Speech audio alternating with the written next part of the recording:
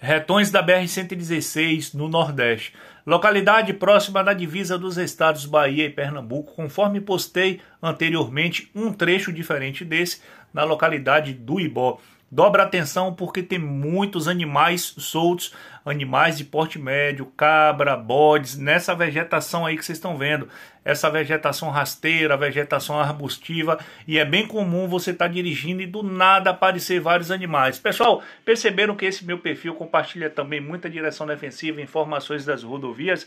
Por essa razão, eu peço a vocês, me segue aí. Hoje estamos com 70 mil seguidores, mas ajuda aí para o perfil é, crescer mais e eu estar tá sempre viajando para trazer essas novidades. Vai cortar esse trecho aí, pessoal, assim como vários outros no Nordeste.